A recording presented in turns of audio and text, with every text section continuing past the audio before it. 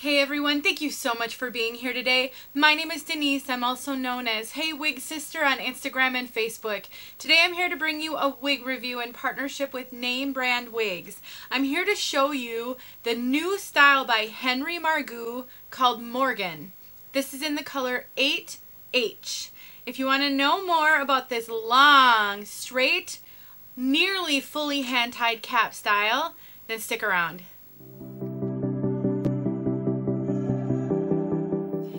This is a new style by Henry Margu and I'm thrilled to be bringing it to you.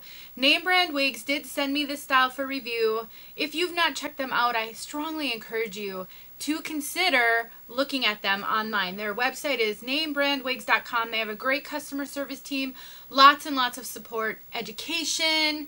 They really do a lot for our wig wearing community, and I am very thrilled to be representing them in this review. Let's take a look at this style from all sides.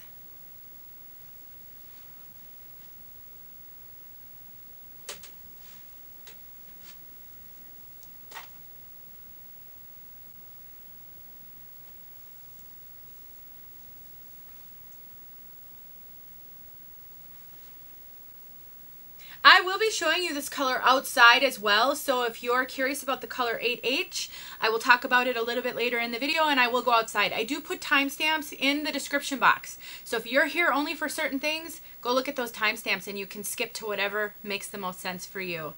This style has a almost fully hand-tied cap. I'll take the wig off in just a minute so that you can see the cap, but what that does is it gives this one a lot of realism. So it really sits nice and flat to the head. There is no permatease, so you don't really have any poof or lift. So if you're looking for poof or lift, you're not going to get this on get that on this one, but for those of you who want an ultra realistic flat to the head, no poof style, and you're looking for something long, this one checks a lot of boxes. Now, we've got a lot of very subtle long layers.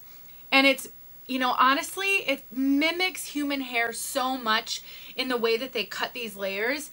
You can see there's just the, it's not really face framing, but there's some shorter layers right up here in the front and then the end is not blunt. It's got these, I'm standing on my tiptoes because it's so long and I can only get so far back in my tiny little room here.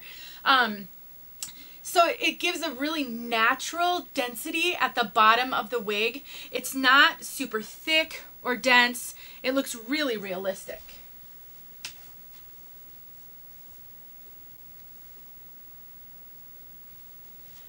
So a couple of challenges that I'm having with this piece that I think may need a little customization depending on your own preference is the front actually is pretty dense. There's a lot of hair up here in the front and it does like to hang in the face a little bit. So I've been working on training it by sending it like this, taking my hands and kind of training it to go back.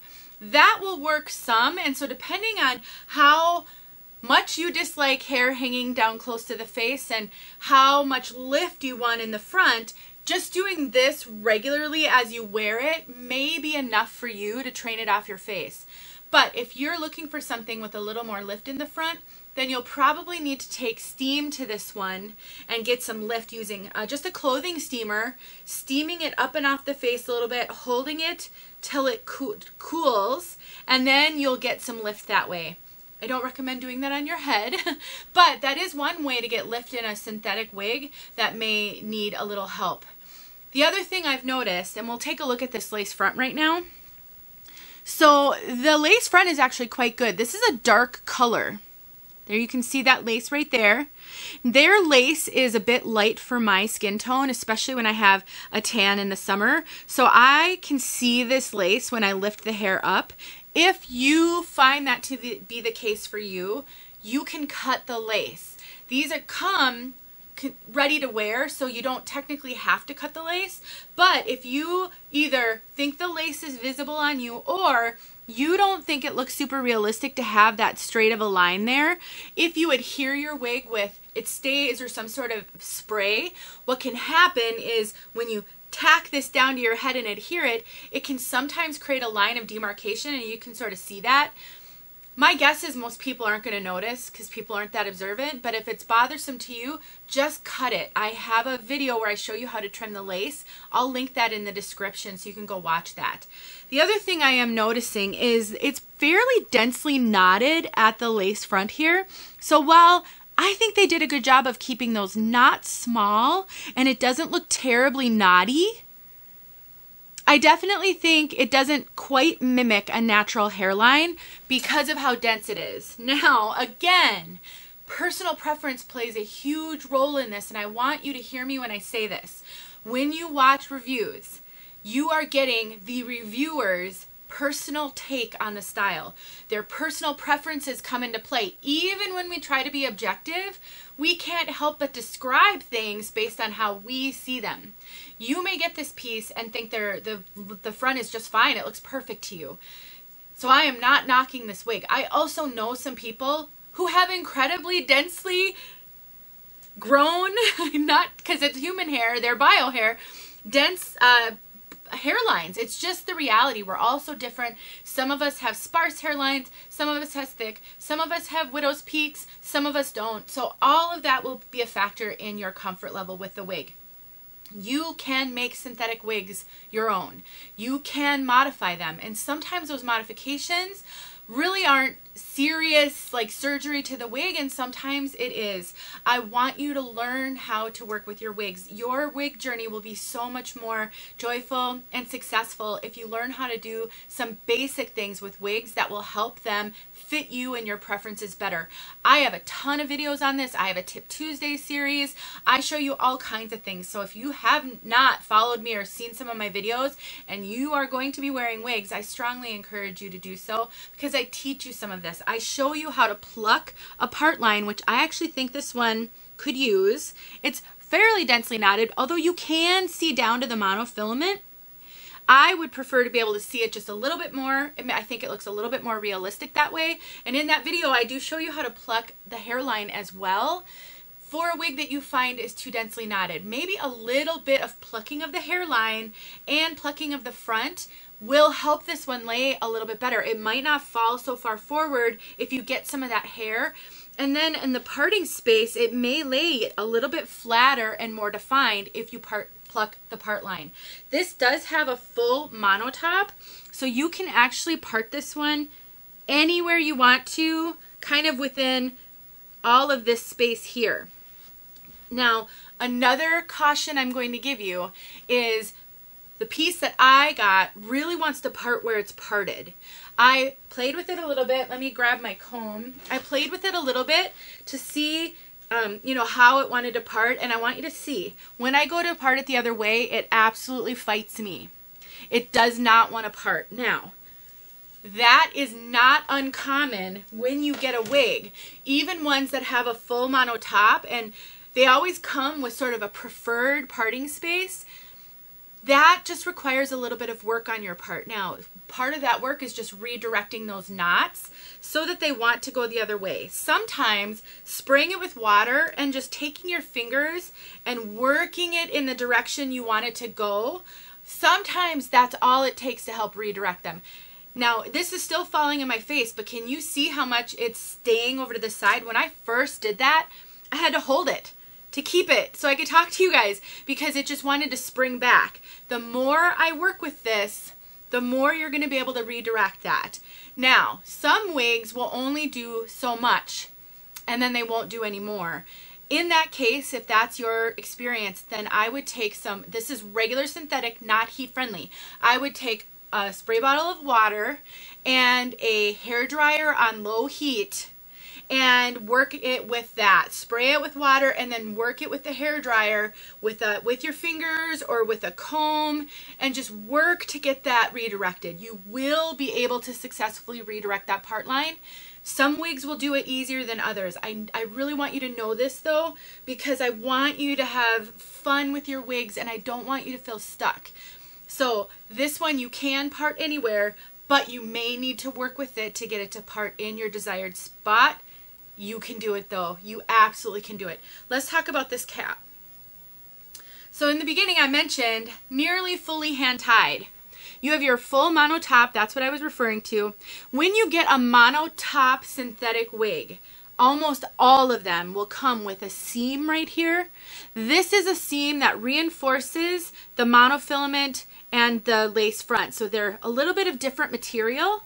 And so they've actually put two different kinds of material together and that helps to put them together and reinforce it. Sometimes you can see that line a little bit on the wig. This one is quite a ways back. You get a lot of lace before you get to that seam. The odds are people are not going to be able to see that, but if you, it bothers you, you can take a little bit of face powder.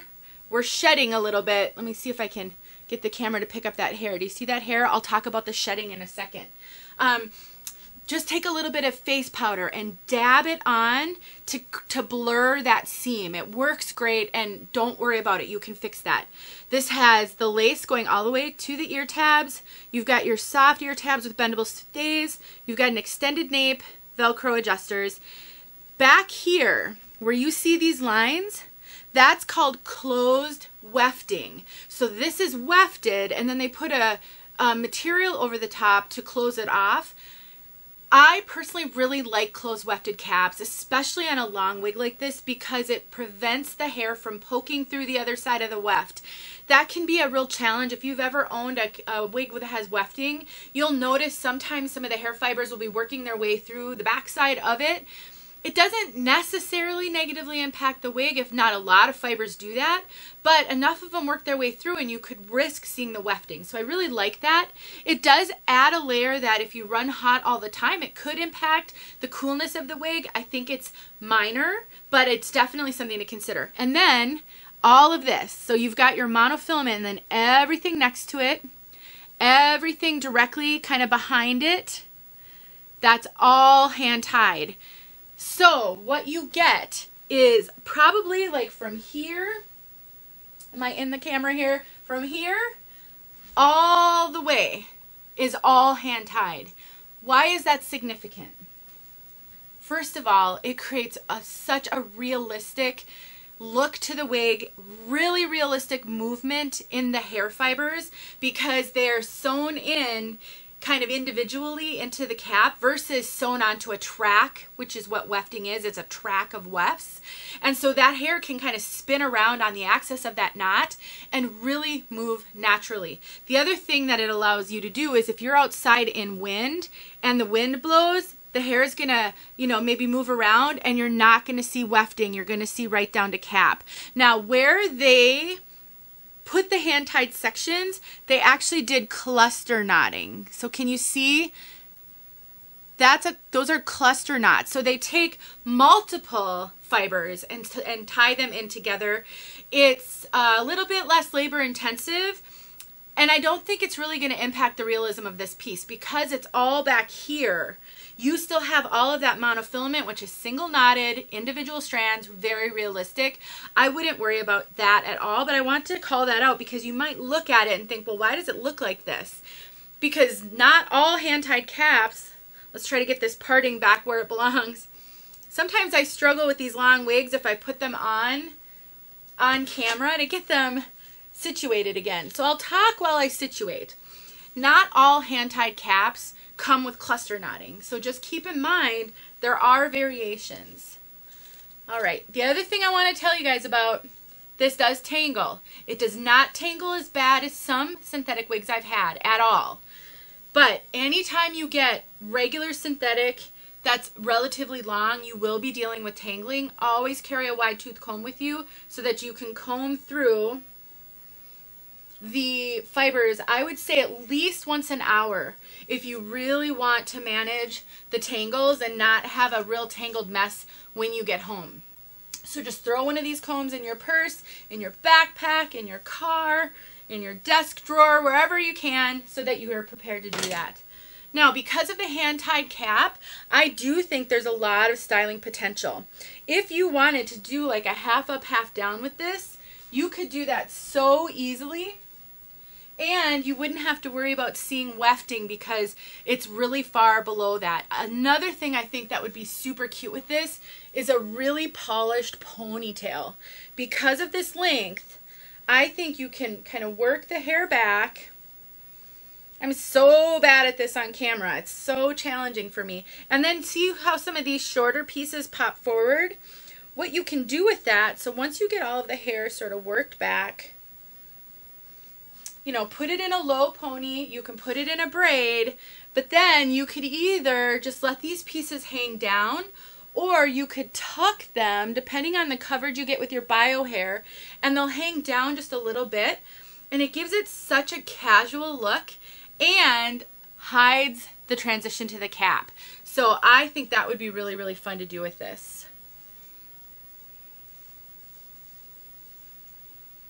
Okay, let's talk about fit. I think this is running just, it's pretty average, but I think it's running a little bigger than average. I actually have it cinched in a fair amount, and I have a 22 inch head circumference. I really think 25 or 22 and a half inches, I think you're going to be fine. Let me just see how much I have it cinched in because I actually could cinch it in even more. Yeah, you guys, I'm cinching this in. Let me actually cinch it in even more. I'm cinching this in a lot. Look at how far in. All of that. I really think this is going to fit average large. Oh, yeah that's better, but I feel like I could even cinch it in more. So I honestly am going to go out on a limb and say if you have a 23, look at the stretch on that. If you have a 23 inch circumference, I think this is going to fit your circumference. Now, don't come at me if I'm wrong. It's hard to guesstimate fit. So many things go into fit. Boy, this video is going to be long, but I think some of these tips are super important if you're new. When we talk about fit, we can tell you how it fits us, but my preference for fit may not be yours. I am used to wigs being a little big on me because I have very, very small over the top of my head measurements. And so I don't particularly like it when a wig is tight on me because I'm not used to it. But if you have a larger head measurement, and so a lot of wigs fit you a little tight, and so you've gotten used to wigs being tight, then you might find something more comfortable than I do when it's tight. That's why it's really hard, but I can tell you I have this cinched almost all the way in. It's still fitting me super comfortably. It is not tight on me, and the stretch is significant. So hopefully you will do with that what you will. And now I get a, a kind of a lot of extra cap at the top. And so what that means is if you're bigger than me in your over the head measurements, quite a bit even, I think this is going to fit you. Please go down to the description box below. You just drop down below the title. There's an error, error, arrow, and then you can go see what my measurements are and just compare them to yours. I am getting really, really good coverage on this overall because these ear tabs go all the way down here. You can barely see my bio hair. You can see it a little bit, because it's just short enough that it sort of sticks out. Um, but I really think I'm getting good coverage on this one. So I'm going to say if you are average petite, this is going to be big on you. And since it's a hand-tied, close wefted, it's harder to modify those caps. Um, so I would say average to average large, pushing large. You might be able to wear this even pushing large, I do think the cap is kind of big and, and fitting that way. And as you can see, as I'm talking, I'm tucking. You can tuck this. Um, you can cut bangs into this. You don't have a template. You're going to have to cut them from scratch, but look at how that lays. So if you are a bang girl and you want to cut some bangs or maybe cut a shorter fringe in this, I absolutely think that you can do it. It also might help with the challenge of how it's laying in the front. And if you cut bangs, then you don't have to worry about that. So before we talk about color, my kind of overall impressions. I definitely think there's a market for this one. I think there are people out there looking for really straight flat styles that are long and oftentimes when you find a wig that's this length it tends to have some curl or wave and this one doesn't have any of that. So I definitely think people are going to be pleased. And I really like the premium cap. I think it feels very comfortable and it helps it to fit really close to the head and really realistic. All right let's talk about color. 8H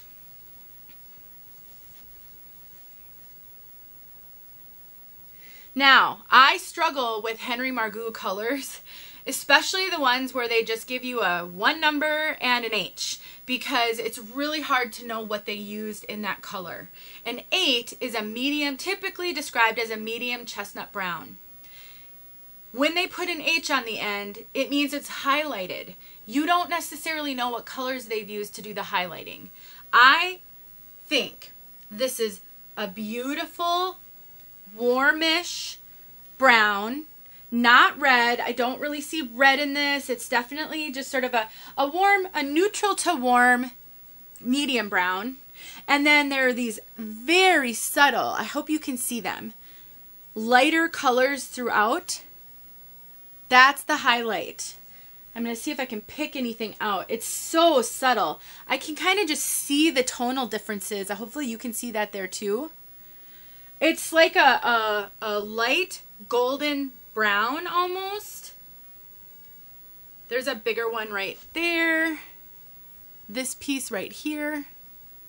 I would consider it more like a light golden brown. It's They're not really blonde highlights. I mean, they might be blonde, but they don't look blonde. It doesn't look like you took blonde highlights on a brunette. It's very, very subtle. Gives it some good dynamic color gradation, but nothing extreme. It almost looks like it's just your natural hair and has most people's natural hair, if they don't use box color on their hair, has some variation in the color, just a little bit of color differences.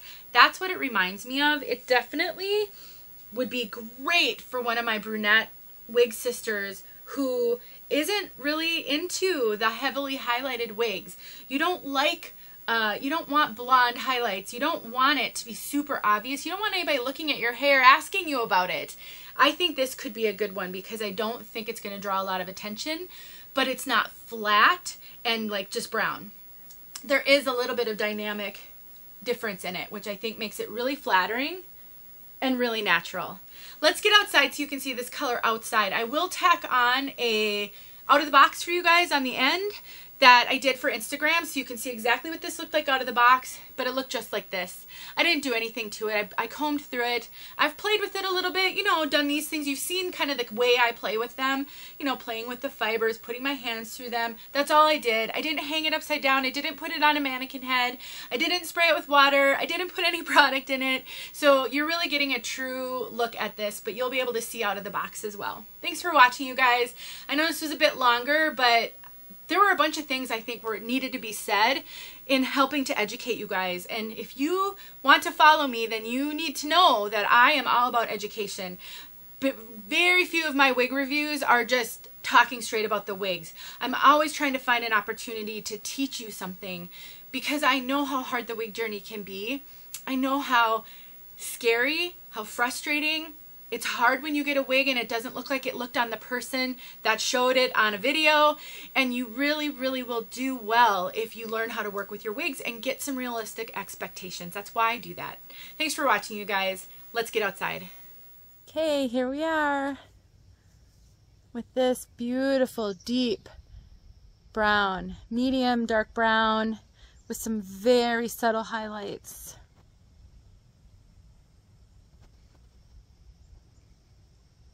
Go into the sun. That just actually went behind a cloud, but probably still enough. See how much more golden that makes it look?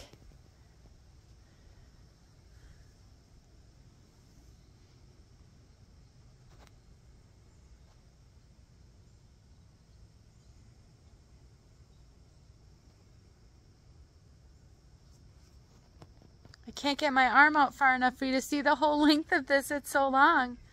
All right, let's go back in the shade.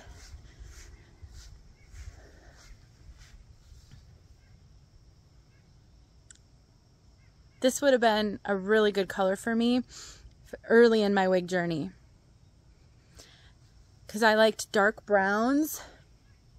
And the, the highlighting gives it some dynamic uh, interest without making it feel overly highlighted, which I couldn't have done early on. All right, you guys, thanks for watching. Here we are with the unboxing of Morgan. First time I'm seeing it, right along with you guys. Whoever was on Instagram, that is. Obviously, I've seen it since then, but when I filmed this, all my reactions are genuine, you guys. I'm super excited. I don't get to see long hand tied caps very often. Plus, it's always fun to see something a little different than I'm used to. She just felt so lush right out of the box.